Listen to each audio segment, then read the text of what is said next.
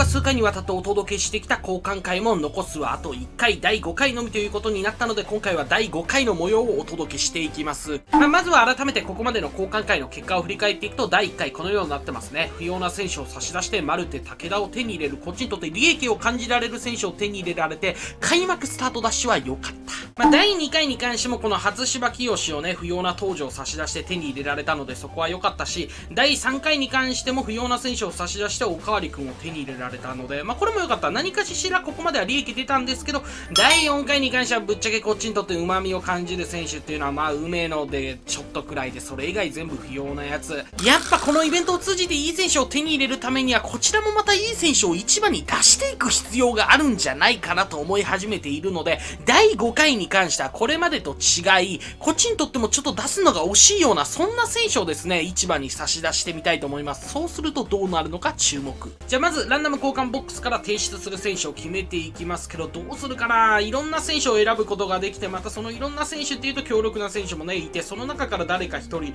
誰にする？例えばギータとか2020シリーズ2のね、ちょっと肩は古いですけど、ただ俺唯一持ってるギータがこれだけなんですよ。さすがにこのレベルは差し出せないというか、惜しすぎる。ギータを差し出してね、新しいギータを手に入れるとか、そのレベルの選手を手に入れられるのであればいいけど、ただそういうわけではないからね。これはさすがに勘弁してください。ただそれと同じレベルの鈴木誠也2020シリーズ1のやつですね。これに関しては僕ね、鈴木誠也今シリーズの違うやつなんですけど、2人持ってるんですよね。日本代表のやつとこの鈴木誠也と。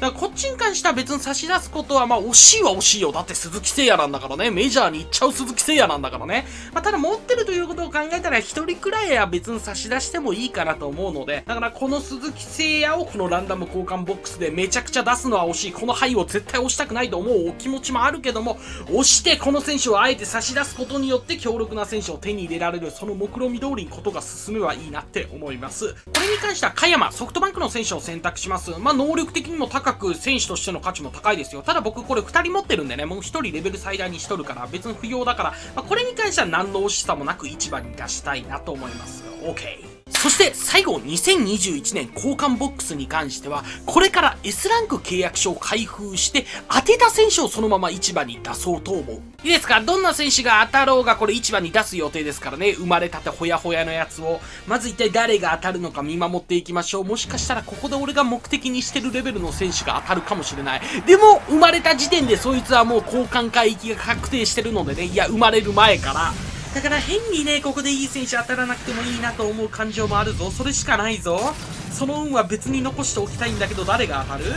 強打が当たった。うーん、まあ、ちょっと残しておきたい気持ちはねえかな。この選手だったら別にいいか。市場に出しても惜しかねえよ。これなかなかのレベルの選手たちが、こうやって改めて見たら並んどるから、だからそれにふさわしい釣り合いが取れてる選手が何に言えるけど当たってほしいよね。強打と釣り合いが取れている。って言ったらそんなレベルが高くないから、いや、それ以上の選手。で、加山と釣り合いが取れてるやつ、鈴木誠也と釣り合いが取れてるやつ、その他もレベル的に限られるんでね。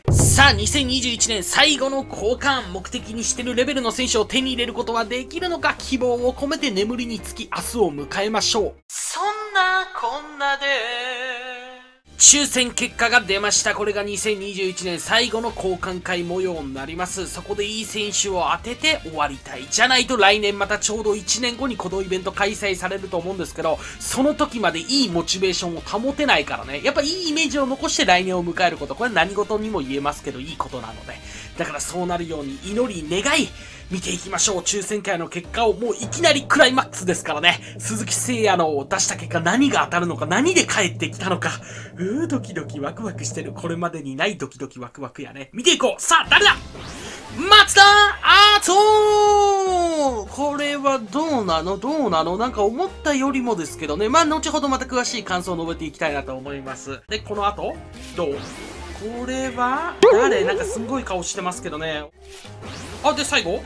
これも誰わからない。何なの誰なの？えっと、終わったんですけど、イベント最終交換が早くない？あっさりしすぎじゃない？俺もっと濃密濃厚に一つ一つ楽しんでいく予定だったんだけどね。楽しめるようなものは一人もおらず、だからさらっと終わって今こんな気持ち。まあ、振り返っていくと、1つ目ランダム交換ボックスはこちら鈴木誠也を差し出して相手松田敦夫をくれました。それもこれ、めちゃくちゃ型の古いやつ。2019年のシリーズ2のやつよ。こっちよりも古いからね。なおかつ選手としてのレベル、釣り合いも取れていない。こんなやつを求めて俺は鈴木誠也を出したんじゃない。鈴木誠也と釣り合いが取れてる。もしくはそれ以上のものを求めて出した結果これが当たってイエーってなる。ならないならない。その次の交換ではこちら加山差し出して相手牧原をくれるというね随分悪意のあるチョイスですけどねこの写真自体は。いやでもなんだろうがいらへんのよ。決まってる牧原だろうが悪意がある牧原だろうがそんなものどうでもよくてね牧原の時点でいらへんね最後はこちら生まれたてほやほやの強打を差し出して相手は井口をくれました。レベルマックスですね。まあ今季何かと話題になった人ですよね。あの件について。まあだからといって欲しかったわけでもないしいらねえっていうことは常々言ってきたんですけどね。日ハムの選手なんていらねえと。でも最後にまた日ハムの選手が来てこの交換会が終わるというね。えー、こんな気持ちじゃ来年気持ちよく交換会迎えられない。来年の交換会までずっとモヤモヤした気持ちを抱えたまんまこの先もプレーすることになる。ややね最悪な締めくくりになりましたよこれ。